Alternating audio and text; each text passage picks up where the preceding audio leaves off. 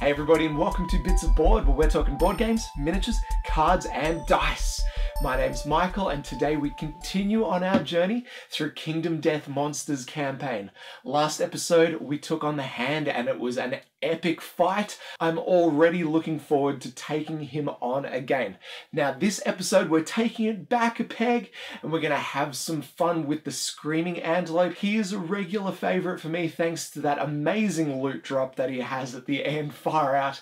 Um, now last ep I may have uh, suggested that we were still in Lantern Year 13 at that stage because I thought it was a Nemesis encounter, and this is not the first time that I've done that either.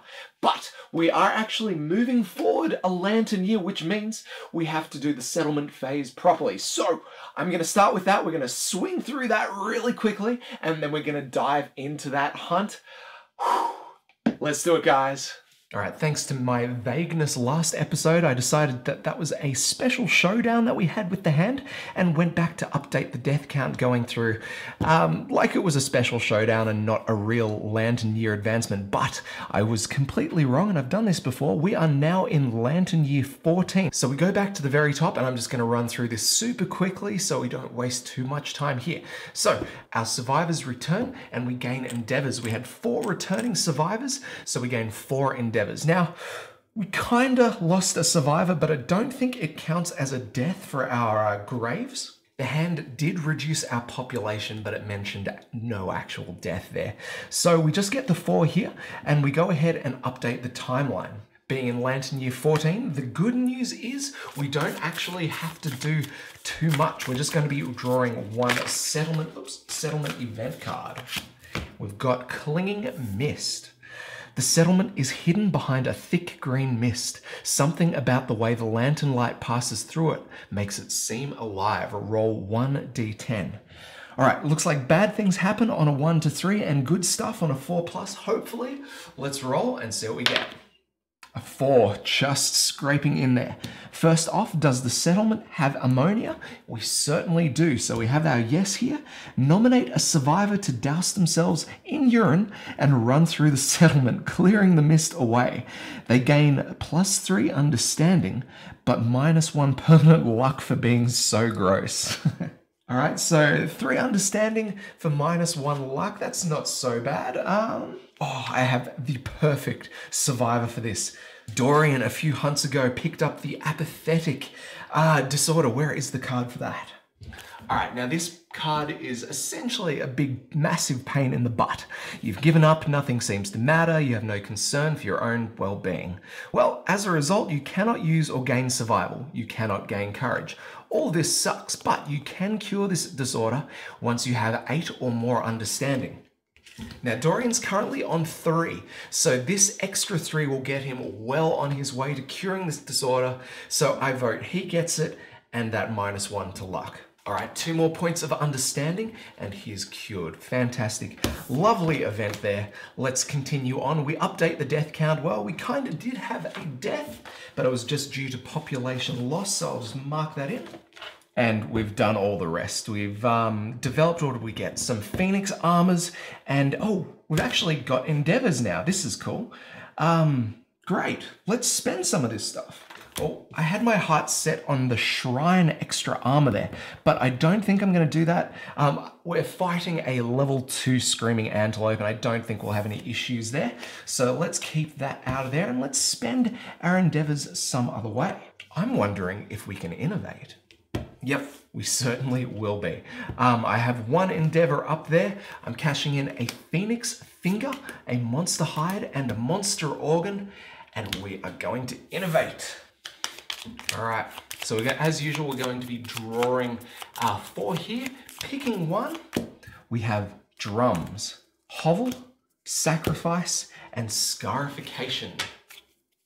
Now, scarification's a bit of a gamble. Once per lifetime, gain plus one courage and roll the hit location die, and you'll suffer some either good stuff or bad stuff. I think it's a 50 50 chance of stuff happening here. So that's kind of cool.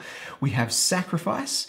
Um, we have a death ritual. So you reduce your population, another kind of gamble thing. All right, so I, I, don't think I want that yet. We still don't have that surplus of survivors here. Uh, we have drums here. We can spend an endeavor for bone beats. Uh, you can either gain insanity, survival, or the rhythm chaser fighting art, which is pretty boss, uh, or the synchronized strike secret fighting art. Uh, and then we've got hovel, which increases our survival limit, and we gain plus one survival on departing. Now this, I kind of want to get this one because think Hovel can lead to, is it the family principle? Anyway, there is a uh, there's an innovation that can come up, and I think it's because of this that will allow us to pass on weapon specializations, which I think we're going to need. Yep, let's go Hovel.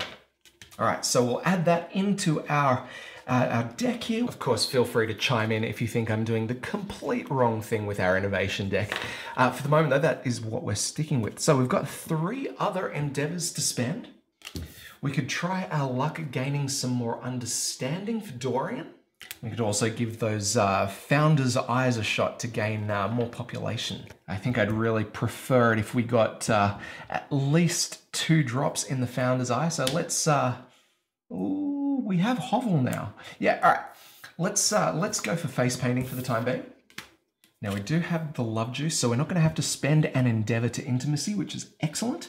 Puck is going to go to face painting to apply some founder's eye, I hope. Let's aim for that four plus. An eight, excellent. So we're going to be able to add plus one to the roll on the intimacy table there. Let's go again. Another four plus, please. Oh, no good. And one more. Come on, we want two here. A seven, excellent. So that's that done. We're gonna cash in our love juice. Puck is gonna have an intimacy event and I think we're gonna send Freya as well.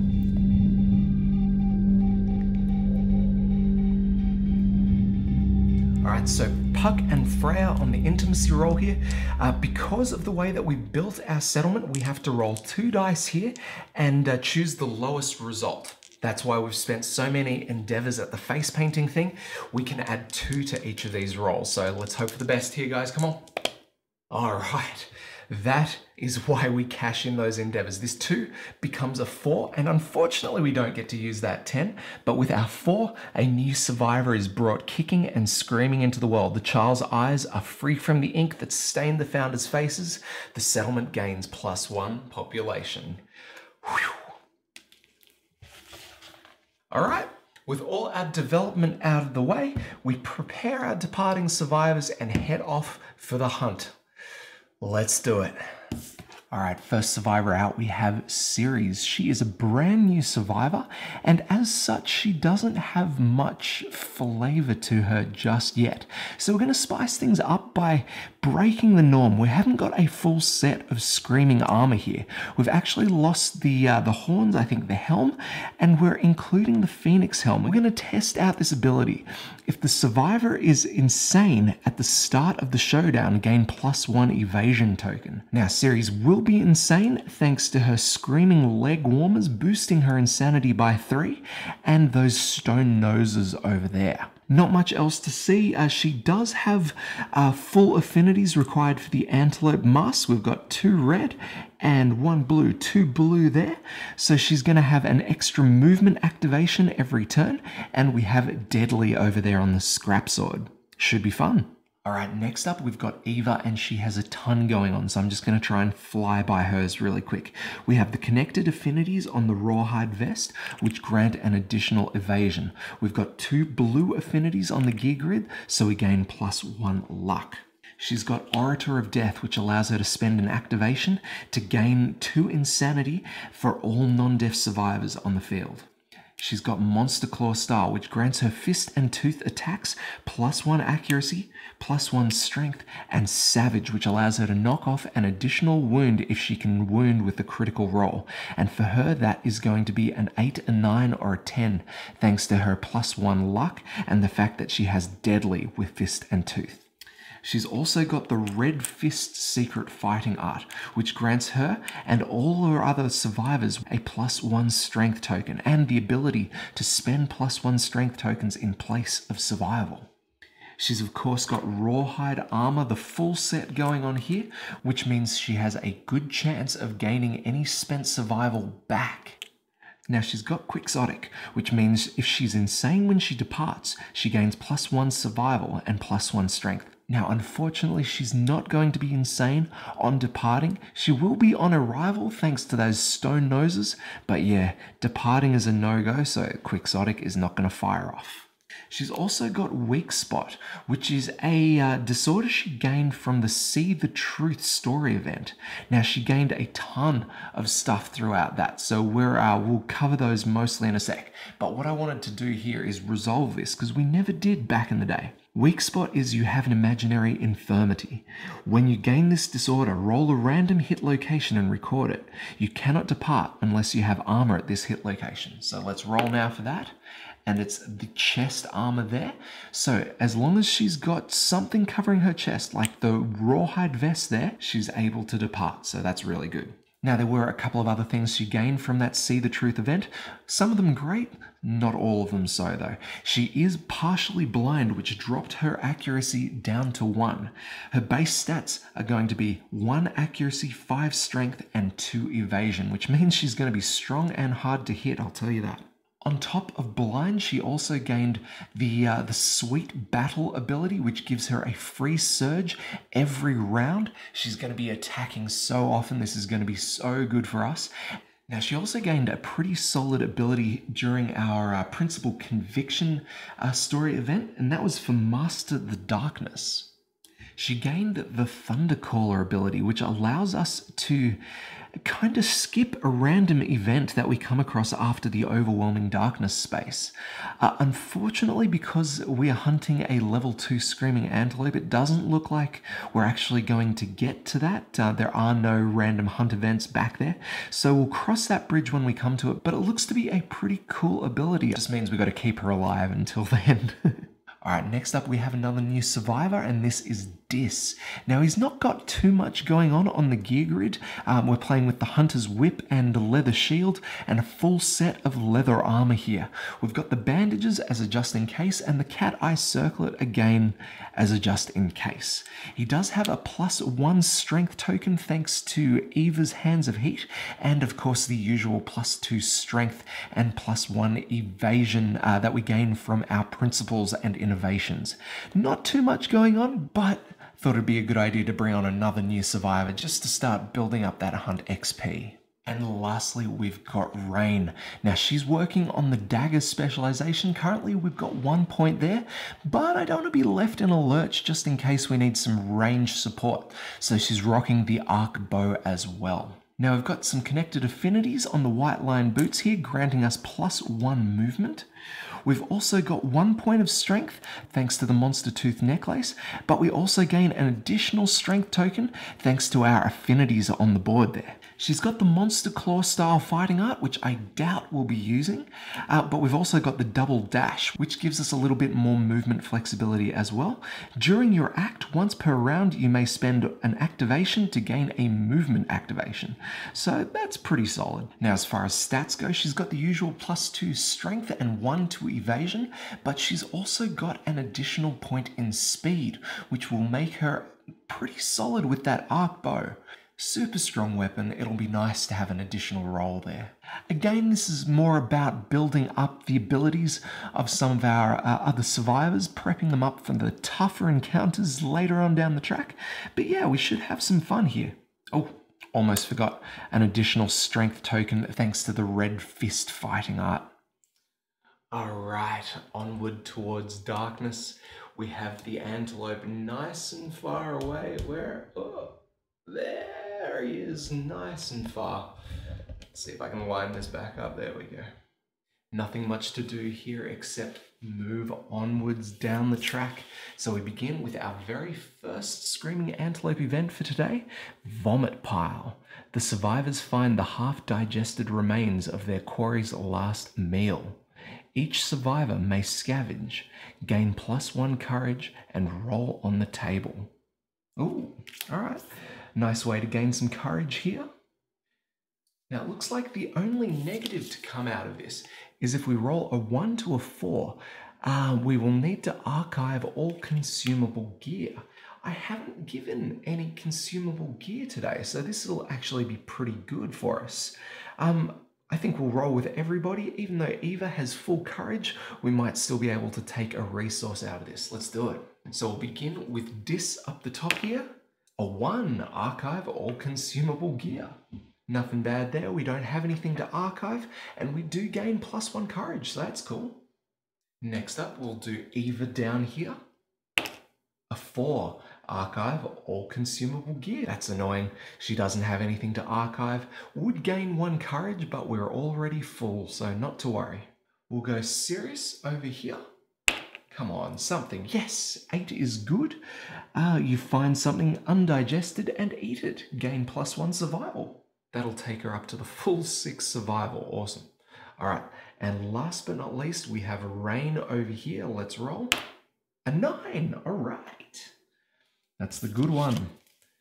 The antelope is clearly sick, vomiting up pieces of itself. Gain plus one understanding and one random screaming antelope resource. And we gain a large flat tooth. Awesome. Now, if no one was to scavenge, we'd roll on the random hunt table there. Um, but we scavenged, all of us, so let's move on. We come to our first random event. Let's roll, see what we get. Number 28. A rumpled, unsightly bird stands in the survivor's path. Its beady, wet eyes blink expectantly and it calls out with an eerie human chuckle. The survivors may archive one consumable item or gear, offering it to the troll bird. If any survivor is insane, they must feed the troll bird if able. If they feed the troll bird, it hops off with a terrible cackle.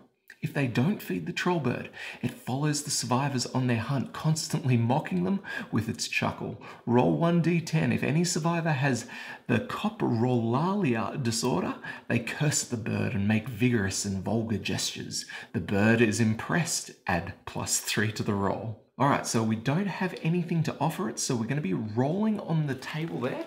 Uh, who is going to be our event revealer? I'm thinking Dis, he's up the top here. So let's roll for it. All right, not great, not terrible though. The troll bird makes a terrible racket, alerting the monster. All survivors gain plus one understanding. At the start of the showdown, the monster ambushes the survivors. Oof. Good news is though, plus one understanding. That brings Rain up to the first insight event. Cool.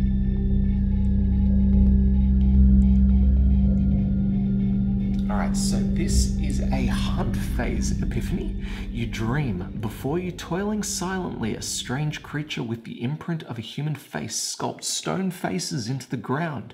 You meet its concave gaze and wake. Gain the following ability and roll on the hunt table. Explore. When you roll on an investigate table, add plus two to your result. Love it. Let's roll and see what bonuses we get out of that. A six gain plus three survival and plus three insanity. Nice. Well, she's well and truly insane now. All right, we get that one out of the way, and let's move to our next uh, Screaming Antelope event. Devoured Grounds. The stone faced ground is littered with the leavings of ravenous passing beasts. Half eaten Acanthus plants are strewn everywhere. If any survivor has plus three understanding, the survivors may skip the next hunt space. And thanks to Rain gaining her third understanding, we can move on straight past this one here. Love it. So we shuffle on through and move into our next random event. Let's roll, see what we get. 11. All right, so let's move it on down the line. I'm thinking Ceres will be our event revealer here. Monster droppings. The survivors find some monster droppings like those of their quarry. The event revealer chooses to either investigate or consume the, the droppings. Gross. If the event revealer investigates, gain plus one understanding and roll 1d10. Ew. Now, Ceres is insane. Not by much, but I'm thinking she's going to eat the poo. It might be gross, but there might be rewards here. So let's uh let's give it a shot. oh dear. All right, so we're to be rolling on a table here. Let's see how we go. I'll roll first, show you after. Oh, it is a 10. We've rolled well. Boy, did we nail this. All right. There was something quite special about the feces. Gain plus one speed and plus one strength token. Awesome. We also gain plus one courage for eating the feces. Hells yeah. All right, so our survivors move in to overwhelming darkness.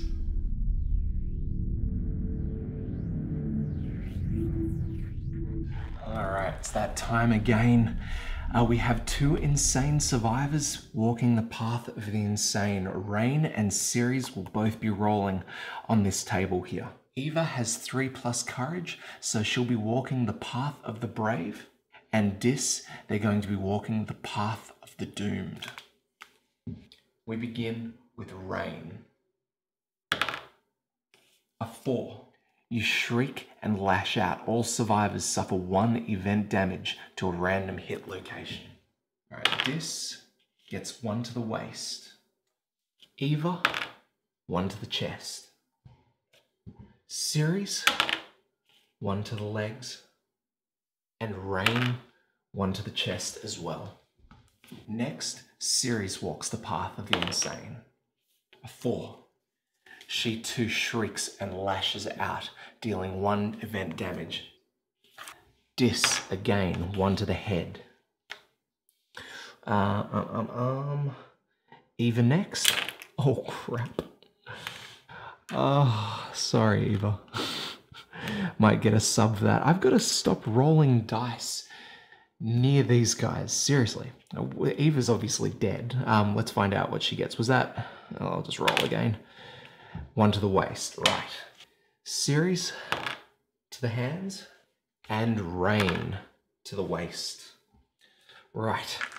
They are our insane survivors done. Let's go for Dis, who's walking the path of the doomed. Gonna roll 1d10. Hope for something decent. A three. You glimpse a nightmare whale swimming overhead. Your heart shrivels, lose half your survival rounded down, and gain the post traumatic stress disorder. All right, PTSD. The last hunt was harrowing. All you can do is cower and relive the trauma. Only time can heal your wounds.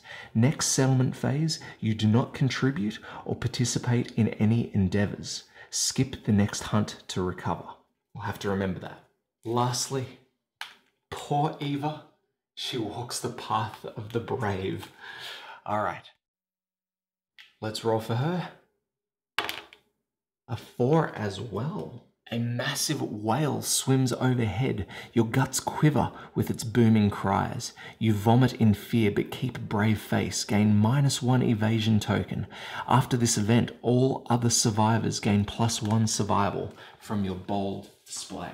All right, that means we are done at the Overwhelming Darkness event. All right, guys and gals, we have Eva back in play now, and I think we're all done with our overwhelming darkness. So let's move in to our final, hopefully, hunt event before the Screaming Antelope. And we have Grazing Field. Acanthus leaves sprout from the crevices in the stone ground. The survivors spend time gathering and eating the small leaves.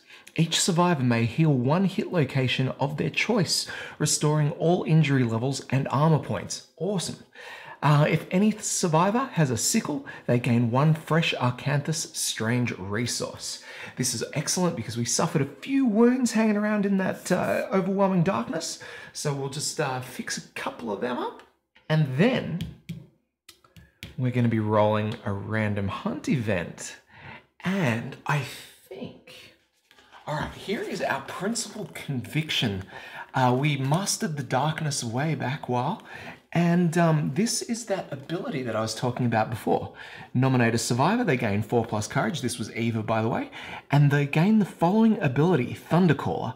Once a lifetime, on a hunt board space after overwhelming darkness, in place of rolling a random hunt event, use 100 as your result.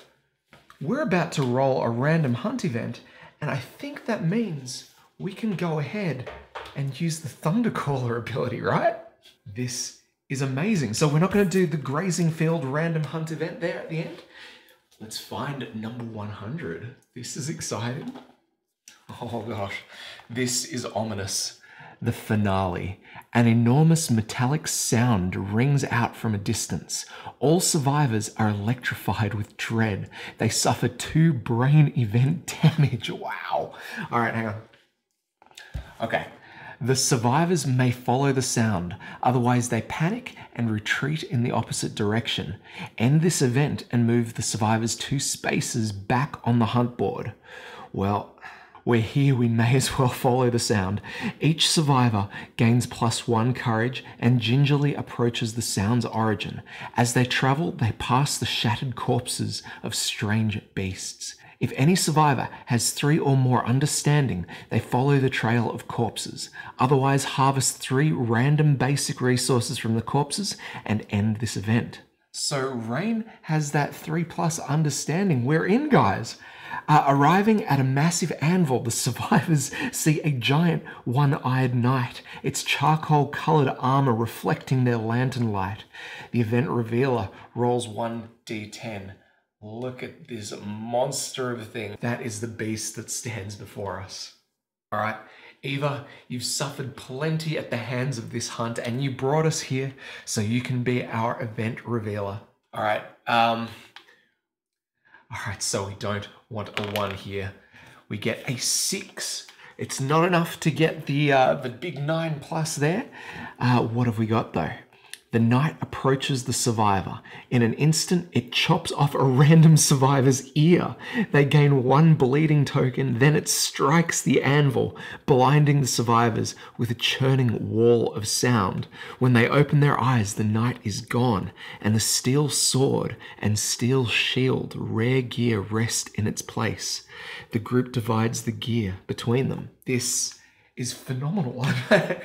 Let's um all right, firstly, who is our random survivor that gets a chopped off ear? Got our randomizer cards here. Let's go for gold. Hopefully it's not Eva, she's already partially blind. And it's going to be Rain. All right, so she's going to enter the showdown with a bleeding token. That's not so bad. Um, let's let's take a look at this gear, guys. All right, here we are. This is pretty cool. So our steel sword, uh, it is a speed one weapon, hits on a four plus with five strength behind it. It has irreplaceable, slow, and sharp. On a perfect hit, the edge sharpens. Gain 1d10 strength for the rest of the attack and the steel shield. Now, if we use this as a weapon, it has one speed, six plus hits, and six strength behind it. Massive weapon here. It's irreplaceable, minus three to movement when you got it, and you may spend an activation or one survival to ignore a hit. That is pretty dang cool. Um, we've just got to find people to hold on to it. Um, this might be hard because I think we've got all four gear grids full at the moment. So someone is going to have to drop something. In fact, two things are going to go. You know what? We're lucky enough to have two sets of stone noses in the crowd here. So Ceres and Eva can drop their stuff and we'll pass on these wonderful pieces of gear. We're going to give Ceres the steel shield. She currently doesn't have a shield, so she will totally dig this. And then Eva, she can have the steel sword, although I doubt she's going to be using it this showdown. She's just too good with that fist and tooth. All right, that is it. Let's send our survivors in. We're going to be attacking the Screaming Antelope.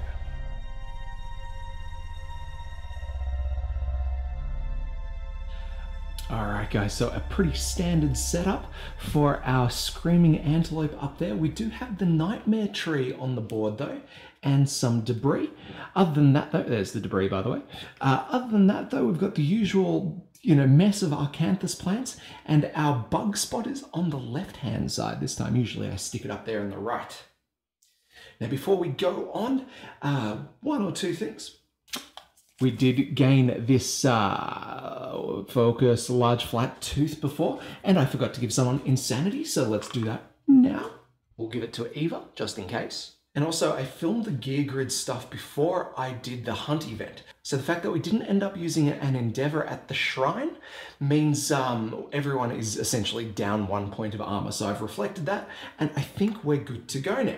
Now we've faced this guy plenty of times, enough to know exactly what's going on. He has trample, which means if he collides, you suffer damage equal to the monster level, and he has diabolical, which you're going to see very shortly. Um, what that does, he's got a plus one speed token, a plus one damage token. He's an all-round dangerous, very movable kind of guy. And on top of that, he's ambushing us. All right, so we begin the antelope's turn by drawing his first AI card, and what do we get? Stomp. Closest knockdown survivor, nobody's knocked down. Furthest threat in field of view and in range, that is going to be Ceres over there. Because, well, the antelope can't actually see Rain over here. No, it has to be in range. Now, the antelope only has what? Eight movement points, one, two, three, four, five, six, seven, eight. He's not going to be able to get close enough to do any damage there. So instead, he grazes, which means he moves to the closest Acanthus plant and essentially heals. Now, I have set up slightly strategically that he moves forward and he'll chomp down on that one there. If he had any wounds, he would heal one wound and that would be the end of his turn if it were a level 1. we now check for that diabolical trait, this pain in the butt. At the end of the monster's turn, target a random survivor in the trample zone, and he's going to trample. Now, we don't have a target, so if the monster has no target, full move forward. Fantastic. So he's going to move forward eight spaces. One, two, three, four, five, six, seven, eight, right there. Now, of course, we ignore the tree for monster movement here, and I'm thinking let's let's decorate this board up and chuck the uh, the actual the model tree down. So be it if we need to move it again. All right, so that's the monster's first activation. Because we're ambushed, of course, that's not going to be his last before we get a shot. So we draw the next card, and it's Stomp and Snort. Random survivor in range. Now, all four survivors are in range here, so let's randomize. All right, and it's going to be the Bastion lookalike. Who is that today? Dis. Wonderful. All right, so Dis is going to be targeted here. And it looks like he's going to get intimidated. The screaming antelope begins to stomp and snort excitedly. A gurgling moan sounds from its undermouth. Turn to face the target and roll 1d10. On a result of 4 plus, the target suffers 1 brain damage per monster level and is knocked down. In addition, if they are insane, they suffer knockback 5. Oof. Alright, so there's good news and bad news. The bad news is he uh, he has no insanity. The good news is he's not insane. If we roll that four or more, I don't think that's any consolation. Let's roll, hoping for the best. What do we got? A six. The target suffers one brain damage per monster level and is knocked down. Dang. All right, so we pop him down like that. We fill in his light injury box there on the brain, and we are going to have to roll for brain trauma. Now, thanks to our accept darkness principle, uh, we do pretty well at brain trauma rolls. So let's roll, see how we go. Oh, terrible. Thanks to accept darkness here, we add plus two to all brain trauma rolls. That brings us from a one up to a three, which means we lose two levels of weapon proficiency. This, being brand new to the whole showdown thing, he doesn't have any, so we kinda get out scot-free there. Brilliant. He's not insane, so no knockback. We end the antelope's turn there, once again checking his diabolical trait. We have no survivors in his trample zone, so he's just going to full move forward, which will bring him up in line with the board's edge. Time for a bit of payback, right? Let's start with Rain over here. She's going to move up two spaces here, and then she's going to spend one point of her survival to gain that movement point back by dashing. She's down from seven to six. Next, she's going to pounce, which is the special ability of her white lion coat. We spend her activation and her movement to move three spaces in a straight line. Then if you moved three spaces, activate a melee weapon with plus one strength. One, two, three, standing right behind the antelope in that blind spot. We gain an additional strength and additional accuracy thanks to her gauntlets. And for having the full set of White Lion armor, she gains one speed and two strength tokens there. A massive haul. I absolutely adore using this attack. Now Rain has plus one speed naturally, so we are actually going to be rolling five dice here. This is going to be five dice on a five plus. How did we do? Not amazingly. Um, so our one, our one and our two don't actually hit there, but we do get a perfect hit, bringing our survival back up to seven. So we draw two hit locations. The first one is the Restless Flank, which has a reflex on it, and the next one is Restless Inner Thigh, which has a wound reflex on it. Both of these could be pretty sweet. Let's find out what we are rolling. Now, the dagger itself has one strength, plus three strength for our pounce, two strength for our monster tooth necklace, one strength for the Hands of Heat fighting art brought by Eva, and two natural strength. Wow, that's a total of nine strength. The Screaming Antelope only has a toughness of 10, which means we're going to be wounding each of these locations on anything except for a 1. An 8 for our first one here. So, the Restless Eye, the monster turns to face the attacker. Nothing so bad, we discard our first wound. The Restless Inner Thigh next. A 5, so we do make that wound as well. This one has a wound reflex on it. Your attack disables the monster's powerful running muscles. The Screaming Antelope gains a minus one movement token. That is what we like. Now we're going to surge and we are going to reduce our likelihood of actually hitting and actually wounding, but I like our odds. Or maybe I don't like our odds. It'd be four dice on a seven plus, because now that we're not in the blind spot. Yeah, let's not worry about that. We'll instead use that survival to have Dis stand up down here. He's now encouraged and all is well. Let's go Ceres. She's going to move in over the side of the antelope here, attacking with that scrap sword.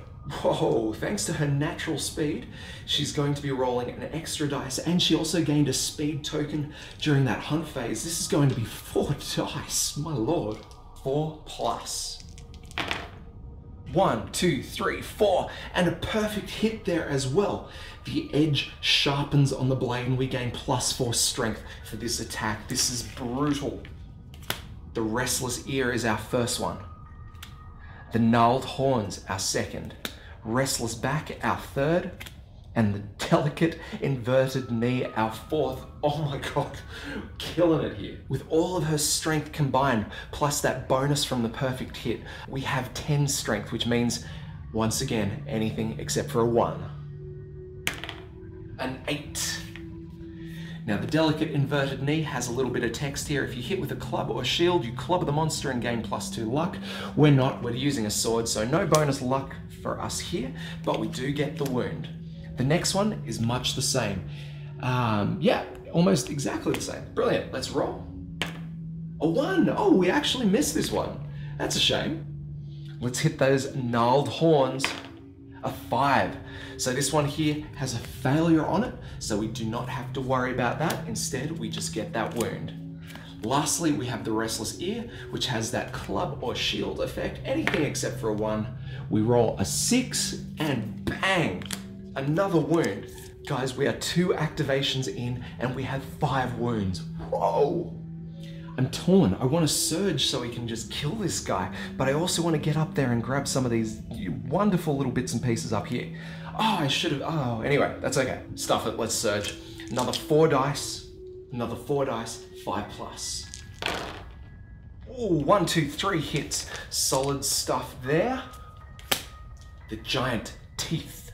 Super dense location. The restless hoof. And the furry tail. Let's just have a quick squiz at these. The furry tail, nothing to resolve on that. We do have a failure on the restless hoof. If attacking with a melee weapon, it is kicked out of reach by the screaming antelope's thrashing hooves. Spend an activation to retrieve your lost weapon before it can be used again. If fighting with fist and tooth, suffer the dislocated shoulder, severe arm injury. Thank goodness we have a sword and giant teeth, super dense. If the attacker hits this location with a frail weapon, it is damaged. Archive the weapon at the end of this attack. Thankfully, our scrap sword is not frail, so let's just go top down like that. All right, so now we have a total of six strength because we don't get to count that plus four from the scrap sword. We're gonna be wounding on fours here. A five, just oh, sneaking in there. I saw that turn. Uh, the giant teeth wounds. Let's go the fairy tale. Oh, use this one. A nine. Oh, Yes, we have deadly, which means this is a critical wound. Gain one screaming antelope resource. The screaming antelope is off balance. The monster gains a minus one accuracy token. Add that in, gain a resource. What do we get? The beast steak, lovely. Lastly, we have that restless hoof. Let's see what we get. A three. Oh crap. I think we fail that. No! All right. So failure. If attacking with a melee weapon, we read this, uh, the weapon's knocked out of our hands and we can't attack again unless we spend that activation to get it. So I'm just gonna put this card as a reminder on top of the sword there. Lovely. Now that Dis is on his feet, let's give him an attack as well. He has the Hunter Whip, three dice, six plus. Ooh, what do we got? A six, a nine, and a five. So just two hits there. Let's find out where. The Restless Chest and the Restless Rump. Oh, these are annoying. Um, we are going to roll. Okay, so these these both suck because the first one, the Restless Rump here, turn the monster to face away from the attacker and full move forward in a straight line, cancel all hits now out of range. This happens whether we wound or not, which means he's going to knock Eva running into the corner there. This one here, turn the screaming antelope to face the attacker and full move forward in a straight line. That's going to be bang that way, well out of range of Eva. So let's roll for this restless rump here. We have a total of six strength, which means a four plus here. Seven, we do make the wound, that's great, discard an AI card, but then we suffer the reflex. Turn the monster to face away from the attacker, bang, full move forward in a straight line, his movement is now seven. One, two, three, four, five, six, seven. He's still gonna make it to that board's corner there. And in that movement, Eva gets knocked down. Eva suffers two damage to a random hit location, being the legs. Now, Dis isn't going to uh, follow up with another attack. He's too far out of range. So he's just going to encourage Eva to stand, which will get her back in the game. All right, let's get in there with Eva. She's going to run over, and before she attacks, she's actually going to spend her activation to harvest this uh, pile of debris here. We roll one dice. We get a six. Let's have a look. Find useful remains, gain one random basic resource, and archive this terrain. That one is done. And we gain a monster hide. Lovely. Now that that's out of the way, we're going to surge to allow her to attack with that fist and tooth. Now she's got the rawhide gear full set, so we can roll to see if she gets her survival back. We need a six plus. A one ensures we do not, but that's good. Let's get those ones out of the way. This is going to be two dice hitting on a five plus. We get a six and an eight, so that is two hits there. To find out where, First one is the palate, which has a failure on it, and then the restless shank that has a wound reflex on it. Oh, I don't like the look of that restless shank. The wound on this one is roll 1d10 for each survivor currently in the monster's blind spot. On a result of 3 plus, they are brutally back kicked and suffer 3 damage to a random hit location and knock back 5. Uh, the pallet has a failure, the giant maw snaps shut. If you are adjacent to the monster, you must spend 1 survival to react quickly or suffer 3 damage to an arm location. This one's okay, let's begin there. We've got a total of 7 strength here, which means we need a 3 plus to not get that failure. 3, ooh, scraping by there, fantastic. So we get the wound, don't have to resolve the fact, don't have to resolve the failure. And next we have that Restless Shank. Really hoping for a critical wound here, guys. For us, because we have Deadly and a plus one luck token, we can do this on an 8, a 9, or a 10. A 4, not quite good enough. So we do get the wound, I'll discard an AI card, but then roll 1d10 for each survivor currently in the monster's blind spot. We want a 1 or a 2 here, guys. A 9, that's certainly not a 1 or a 2. Where were you before? Eva suffers a massive back kick, knockback 5. 1, 2, 3, 4, 5. Oh, it doesn't actually look like she's knocked down. That's kind of cool. Um, but she does get 3 damage. Let's find out where. To the legs. Ooh, spoke too soon. That would give her a heavy wound. Nothing more, but that does mean she is knocked down. No more of that, thank you. I really should glue these back on. Even Blu Tack, seriously. Can I just say now, the reason I haven't done it is I kind of need to pin these survivors in and I wanted to cover up the seams with that. Anyway, back to the game. so as good as that first round was, we did a ton of damage. It is now time for the, uh, the antelope to activate. We'll start off by drawing his AI card. It's another stomp and snort. There must be a couple of these floating around. Random survivor in range. Let's figure out who. All right, we're gonna draw and the survivor is going to be one of these. Bang, this one. And it's, oh, it's gonna be Eva. Tops. Turn to face the target. That's not good. And roll 1d10. On a result of 4 plus, the target suffers 1 brain damage per monster level and is knocked down. Well, she does get that brain damage, in fact, 2. Thankfully though, we're not going to be rolling on that uh, brain trauma table just yet. Alright, so that's the end of the uh, antelope's attack. So we resolve his diabolical, and yes, there are survivors in his uh, trample zone. So he's going to full move straight ahead. This is not good. One, two, three, four, five, six, seven. Oh, wow. Okay, all right, so the antelope ends up over here. Let me just move the camera. There he is. And he's actually on top of Eva here, who suffers now knockback five. One, two, three, four, five. Because that's collision, she suffers two damage to the waist location. There goes her armor there. All right, and that marks the end of the antelope's activation. So we kind of did well there. Uh, Eva's on the brink of having a leg chopped off, it looks like. Um, but that's it. It's back to the survivor's turn. Hey guys, so what are we doing over here? You might ask. I mean, Eva's knocked down and, you know, the antelope's over there. Why aren't we fighting the antelope? Well, thanks to Eva's fist and tooth specialization, she may stand if knocked down at the start of the monster's turn or the survivor's turn. So we're gonna have her stand up right about now. Now she's pretty happy with the way that the other survivors are working out out there, and she's got her hit in with fist and tooth, so she's kind of gonna bail. Yeah, and we're going to send her up top here to possibly harvest some bugs. She's just going to have a take a bit of a break from the whole screaming antelope monster hunting thing. Now she has six movement, which is pretty pretty useful right about now. We want to get her up here so she can harvest both a bug and an Acanthus plant. So we'll start off with her first six movement. One, two, three, four, five, and six. Then we're going to cash in a survival to dash. Of course, we'll roll to see if she gets that survival back, and she does not. But that's okay, we have plenty to spare. One, two, three, four, five, and we're right up there next to the Acanthus and the bugs. Let's go take a closer look. Look at her, she's in her element up there.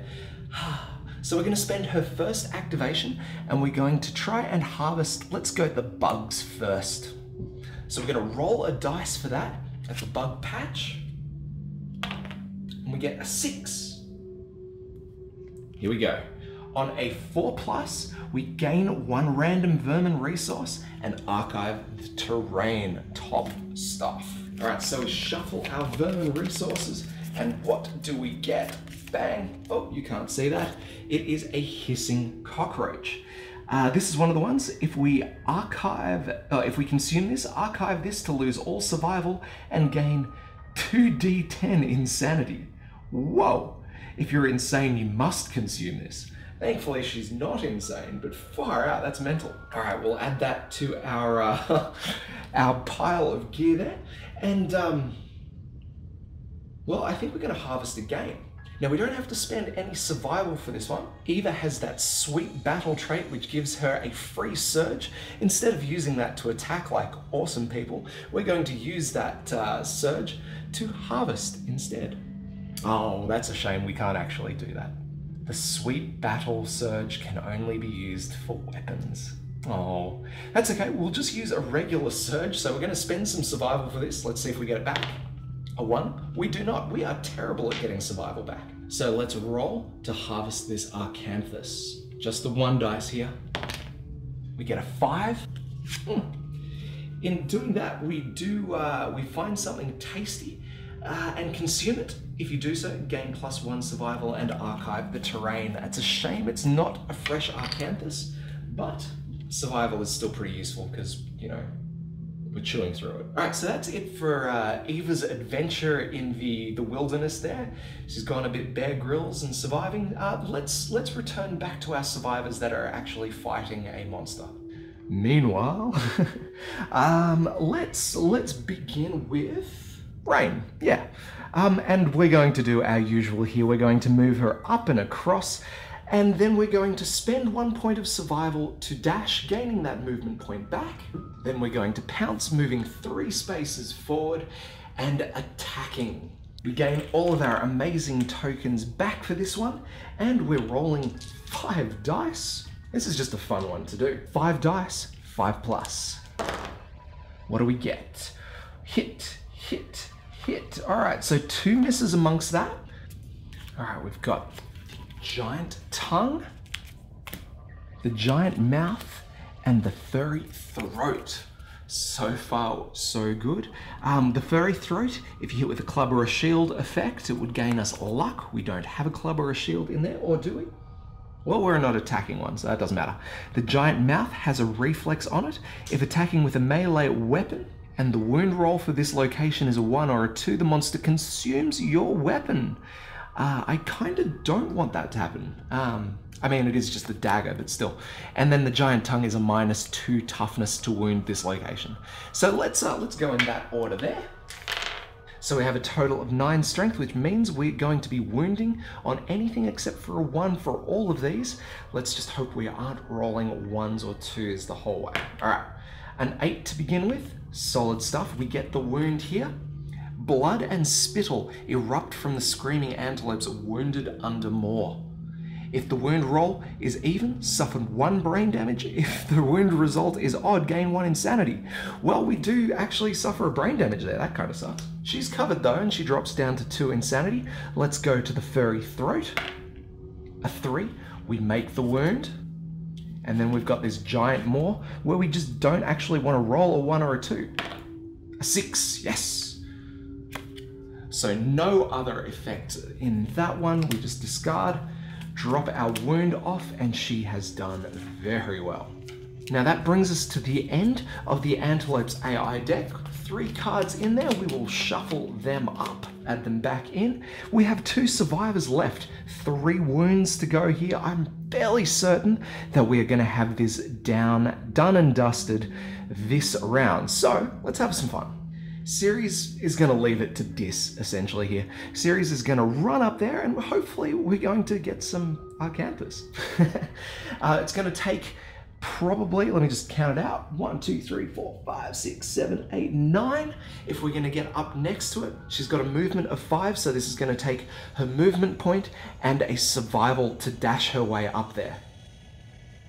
One, two, three, four, five. We'll spend our survival dashing up. One, two, three, four. There we go. And let's go join her up there. There she is, having an absolute blast. Uh, this, I, Let's just make a Kingdom Death farming sim. How about that? Um, let's roll to see if she gets her Acanthus or not. I need big. Six. No. Again, she's just consuming something tasty, uh, and we gain that um, one survival back. Dang. Is it wrong that I kind of want to continue getting these Acanthus? Um, all right, let's head back to see what Dis is gonna do. All right, guys, let me let me level with you here.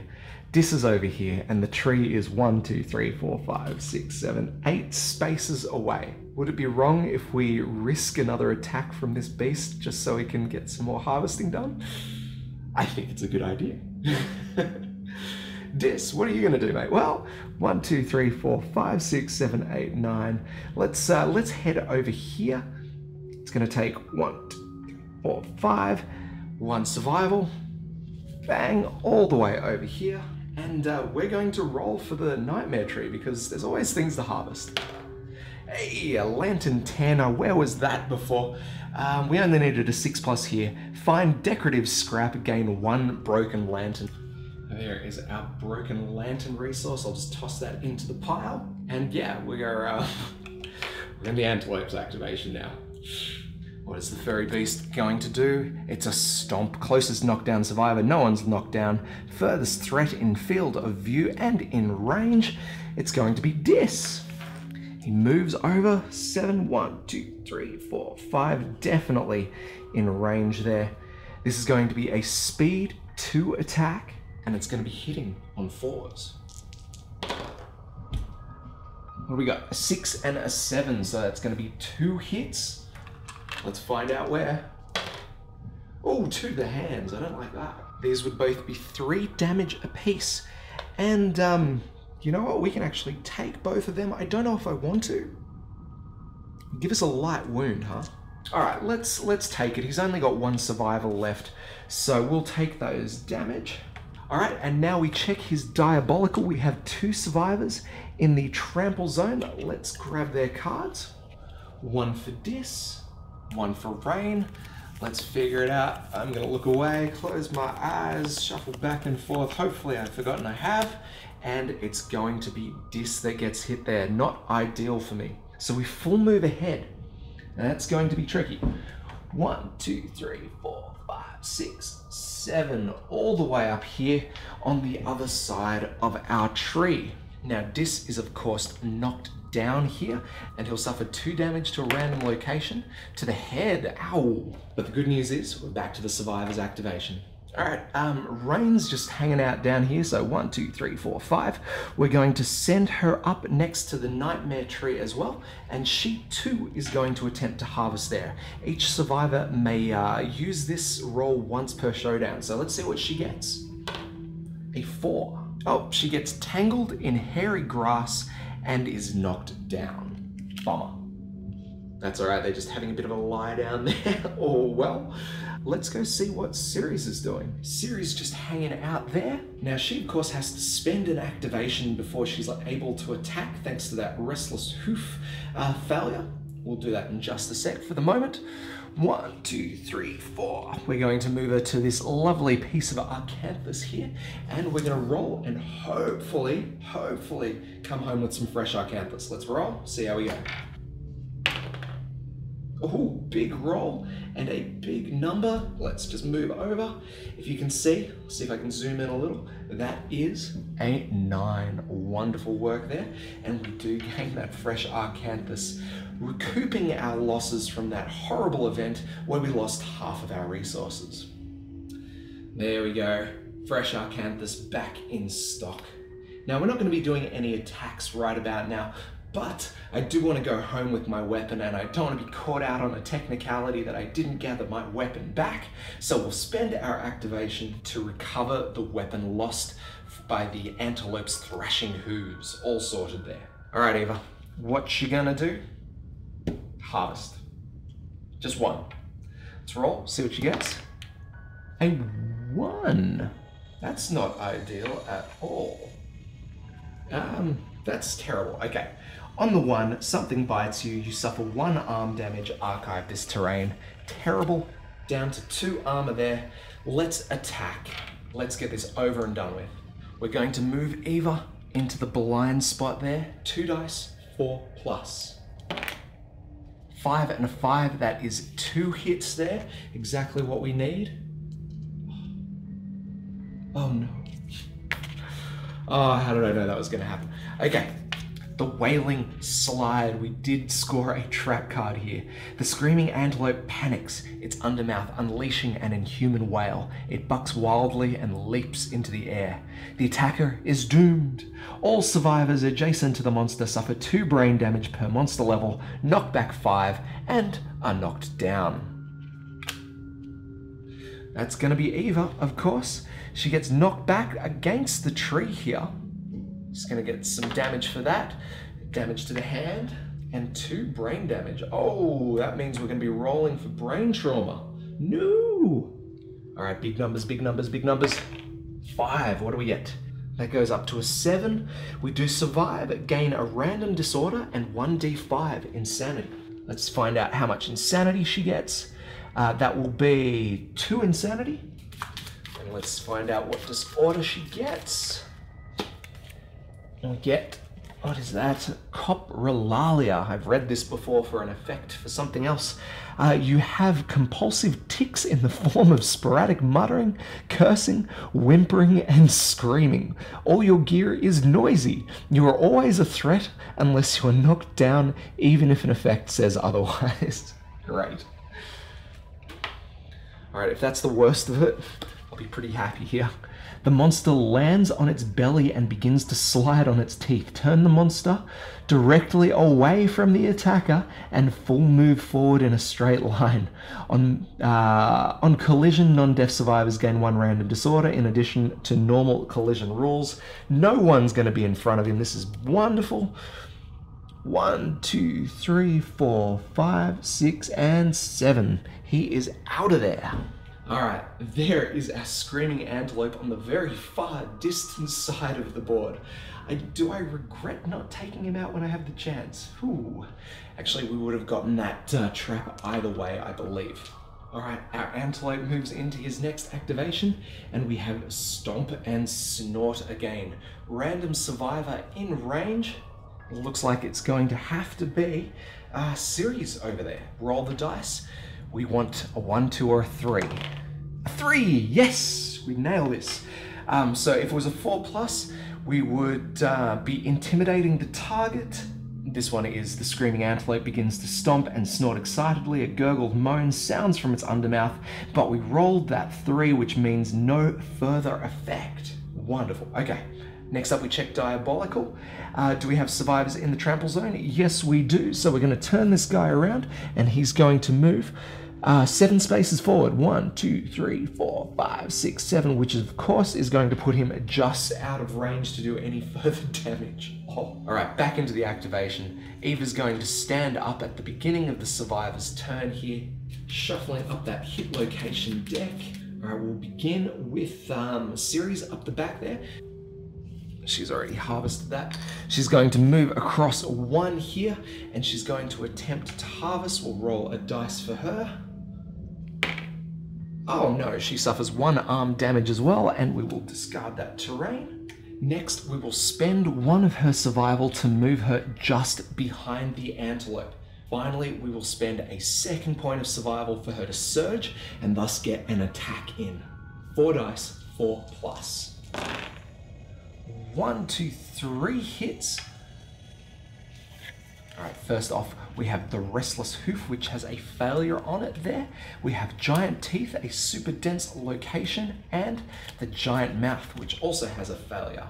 All right, we will wound in this order here. Starting with the Giant Teeth, we are going to need what? Four plus to wound here. Giant Teeth first. A six, we do make it. It's our first wound. Giant mouth, four plus. Oh, what are you, a seven? Nailed that one there. Now this has a reflex on it. Let's check that out. If attacking with a melee weapon and the wound result for this location is a 1 or a 2, the monster consumes your weapon, archive the gear, and cancel the attack. If attacking with fist and tooth, suffer the dismembered severe arm injury. None of that occurs because we're awesome. And then we've got the restless hoof for the third. Yes, we do make that as well. We don't have to resolve that failure. That is three wounds, and that leaves our Screaming Antelope with zero cards in his AI deck. We are almost done. We move into Eva's activation, and before she goes too far, she's just gonna see if she can harvest that Acanthus from underneath the, uh, the Antelope there. Let's roll. What is that?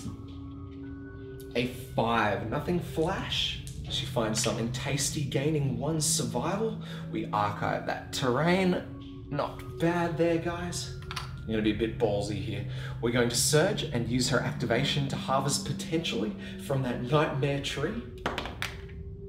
Two. Oh, not good there, I don't think. Let's check it out. Here we go. Um, snagged on a thorn, filled with angry ants, suffer one arm damage. Oh, gain one lonely ant, vermin resource. Worth it. That's her light wound for the arm there, but we gain this guy here. Archive this to swap your insanity and survival values. That may come in handy in a pinch. We are now going to use her final surge, her free surge that she gains, and she's going to use it in a melee attack. Oh, but before we do that, we're going to move her into the blind spot because we are that kind of cautious. Not super cautious that we need to attack twice, but cautious enough to move into the blind spot. Two dice, five plus, two fives, two hits. Come on, no traps, no traps, no traps. Restless Shank and, yes, Restless Rump. Both of these have reflexes. We're gonna go for the Restless Rump here, guys. We need a three plus. And we get the critical wound, gain one Screaming Antelope resource, another one from the pile here. We get a pelt, thank you very much. What's our reflex? A beautiful job there, team. It's nice to have a light-hearted, fun encounter in Kingdom Death. I mean, it's always fun, but you don't have to like die of stress mid-roll when you're fighting this guy at this point. Yeah, we maybe could have gone the level 3, but honestly I don't have much experience fighting that guy, and we were just really in it for the resources. I mean, look at our fist of resources that we scored here just from the hunt, just from scavenging. Yes, I know we prioritized the scavenging a little bit, but I think we had to. Uh, we're at this point where resources are really, well, I mean, resources always matter. Anyway, this is what we did today. We managed to get out of it mostly unscathed, a couple of disorders floating around, but we, yeah, we survived well enough. As a result of our awesomeness, we gain 2 hunt XP for each of our survivors, which means both Ceres and Ceres and Dis here are going to be experiencing their very first age milestone. So let's resolve them real quick.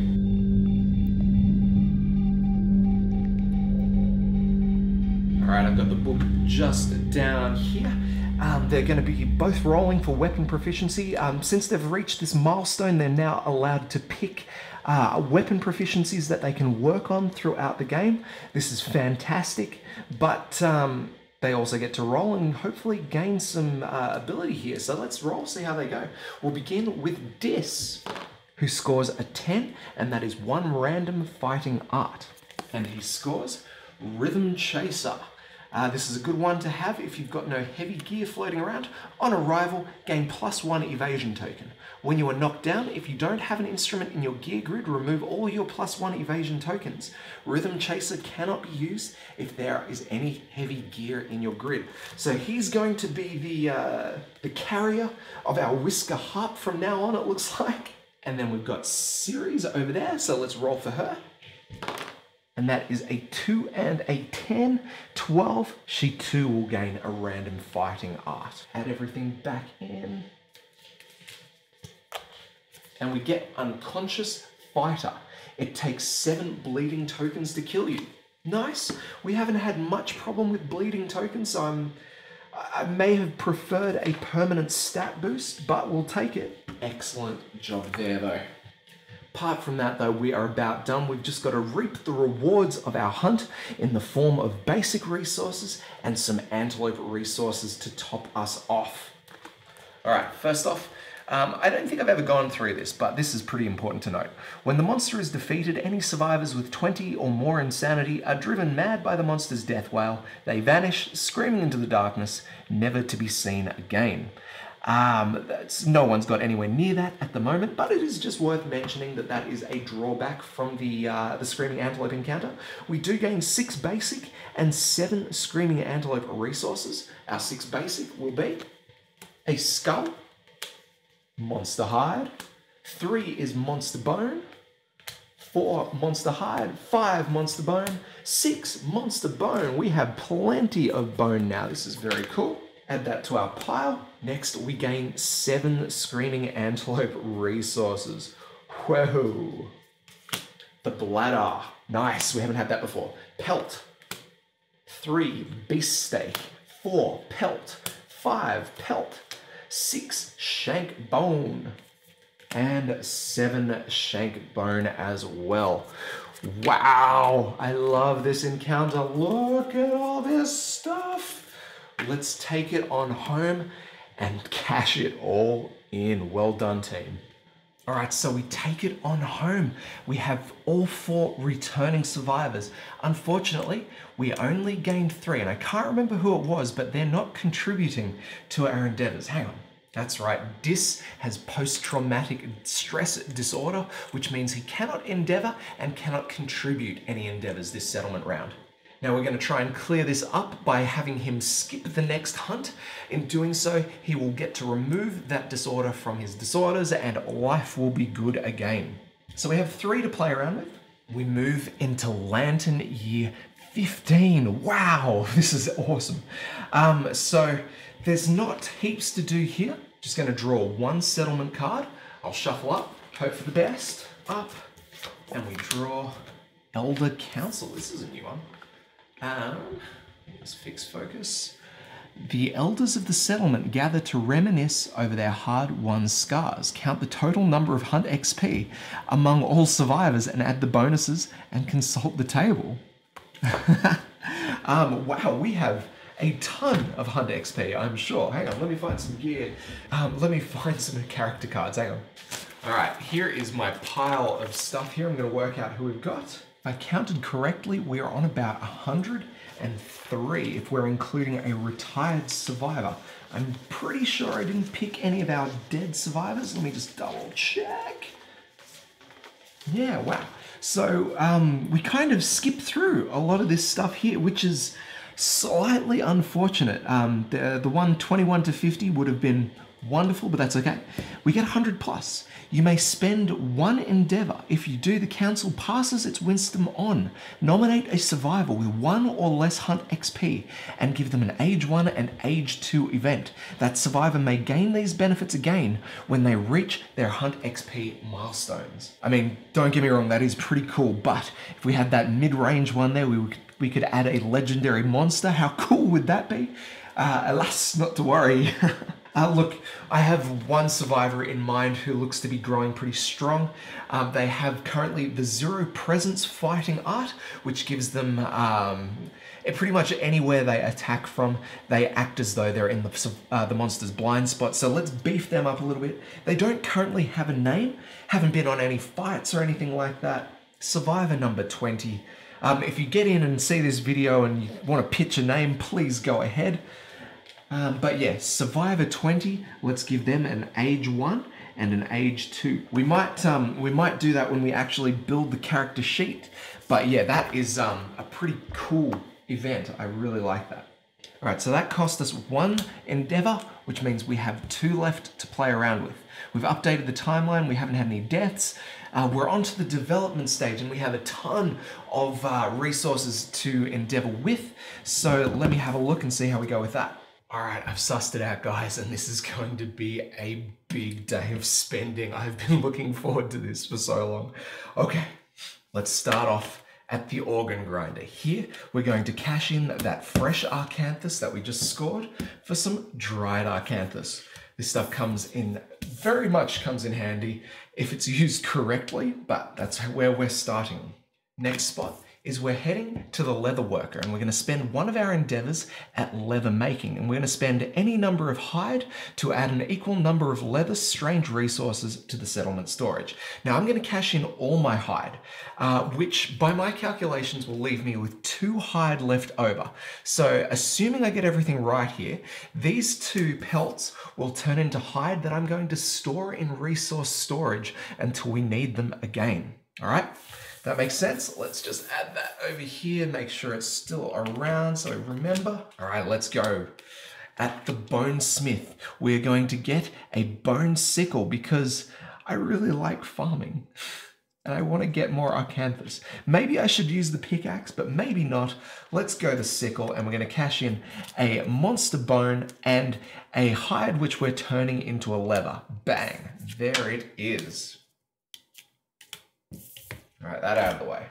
Next, we head to the stone circle. And first things first, we got our bladder and we've got an organ. So let's cash them in. We have paint for blood paint. This is to be crazy. So blood paint we use our activation, we may activate weapon gear to the left and right of this card. These are two separate attacks, cannot be used with two-handed weapons. This is like two attacks for the price of one. This is amazing. I'm so happy we have the bladder now. Oh, let's bring that back. Hang on, hang on, hang on. Stay. We're actually gonna cash in. Uh, where are we? One pelt and one large flat tooth for the beast knuckles. I didn't realize these were catarrhs. I need another one of these, but I didn't have another large flat tooth. Um, so that's pretty sweet as well. This is a two speed, uh, hits on a six plus, has a four strength, but it has the paired ability. So when you, um, if you had another one of these in the gear grid, you could add the speed of the two together and attack. This thing is just boss. It also has this other ability. When you wound with this weapon, monster gains minus one toughness until end of the attack. Oh, love it.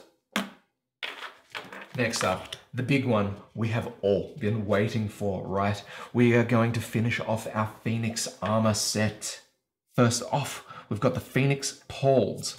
This one here, this will cost one iron, a leather, tail feather, and an organ. We have it all here. Cash them in, keep the poles. Um, these are a four armor location. When you depart, gain plus one insanity. Super useful. Next up, we have the Phoenix Gauntlet, which require iron, leather, small feathers, and a bone. There we are for those. Lovely. That's that uh, black skull that we got from the Phoenix a little while ago. This counts as an iron if we wanted to. I don't think there's anything else we need to use it for, so that one's solid. The Phoenix gauntlets here Four armor yet again. When you depart, gain one further insanity. Beautiful. Last but not least, the Phoenix Greaves. Four armor. If insane, gain plus two movement. Absolutely brutal. This one will cost one iron, one leather, small feather, organ. I have the uh, the leather, the small feather, and the organ here. And we have one iron left on our resource storage. So I'll get rid of that. Awesome. Guys, did we kill it today or did we kill it? That is amazing. All right, so we've used that endeavor. We've got our two pelts that we converted into leather. I'm just gonna mark them on our resource storage. And one last thing we may as well do. We have one more endeavor left.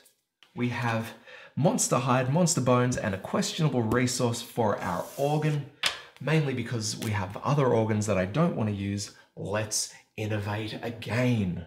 All right, so I'll shuffle up our deck. We are going to draw four here. And, oh, I've obviously got a Screaming Armor stuck in there. Let's not do that. All right, we ready, guys? Four. We get a bed. Go to bed. Sculpture, family, partnership. I'm going to tell you right now, we are going for family. But let's check them out. So first off, we have partnership. We may spend two endeavors here, nominate two survivors, they pair off, and each gains the partner ability. A survivor may be nominated for partners once a lifetime. When you have partner, Uh, when you both arrive, gain survival up to the survival limit. Partners may only nominate each other for intimacy. When a partner dies, the remaining partner gains a random disorder and loses this ability. Family. Departing survivors gain plus one survival. Survivors nominated for intimacy may give themselves a surname if they do not have one. A newborn survivor inherits the surname of one of the parents, their weapon type, and half rounded down of their weapon proficiency levels. I love this one. You'll see why shortly. Sculpture. Uh, you can spend an endeavor to create an inspirational statue. This is kind of cool, actually. Um, skip the next hunt and lose a fighting art. Record this fighting art on the settlement record sheet. A settlement can have only one inspirational statue. You can also spend an endeavor to study the inspirational statue. Roll 1d10 on a 6 plus, gain the recorded fighting art. Love that one as well. Then we have bed. Um, add one to the survival limit. You may spend an endeavor to rest here. Um, on a one to three, you gain insanity, which is still cool. On a four plus, you can um, you start to recover injuries like broken arm, broken hip, broken rib, ruptured muscle, severe injury. This would also come in very much in handy, but for me, it's going to be family because because because because we have a survivor named Bastion. He has the Twilight Sword. And um, without, I'm going to kind of spoil it. If he gains one more weapon proficiency, he's going to leave the settlement and do Twilight Knight things out there. And he can pass the sword down to another member of the um, another member of the settlement. What this doesn't allow us to do, we can't actually pass on the fighting art itself unless we have family. So we need this so we can get a new Twilight Knight and make sure they're ready to fight the Watcher up in the day. Anyway, that is super exciting to have here. Absolutely love it. Um, next, we prepare our departing survivors for their next hunt. I think it's time to take on another lion. It's been a little while since we've done one of those guys. So yeah, that's it for our settlement. Good job. Legit though, I love the Screaming Antelope. He's so generous to us and he doesn't even try and kill us very often. It's fantastic. Um, let's just, just a quick recap. That hunt phase was amazing. We completely jagged it getting a random hunt event uh, after Overwhelming Darkness. We got to use Eva's ability to take us all the way to that 100 and to that Cyclops and... Oh, that was a that could have been a disastrous event for us. But we managed to roll pretty well and we scored that steel shield and steel sword. I cannot wait to use them on the field. I, don't even know how it's going to integrate with the gear that we've already got. Um, what kills me about that event though is there was a 9 or a 10 that we could have rolled which would have given us something immeasurably powerful and we're going to have to rely on dumb luck getting us back there. We are not able to use Eva. Um, yeah, I hope we make it this run, but there's always another run, guys. There's always another run. Uh, the antelope was fantastic today. He was just chilling, stomping his feet, letting us sort of run around, picking up Acanthus. Yes, we only got one Acanthus, but there was a slew of all this other cool stuff that we got. When we finally took him down, we scored all these bonus resources, which I love. Thank you, Mr. Screaming Antelope. He does us the best, except for the Gregalope. He is even more generous. Anyway, we took all that back and we built all this new amazing stuff. We've finally got our Phoenix gear. We've got the Dried Acanthus. Ah, it's a big celebration, this one. Anyway, aside from all of that actual Kingdom Death stuff, I hope you enjoyed the inclusion of a backing track behind our showdown phase, just to add a little bit of spooky ambience so you can't hear my air conditioner.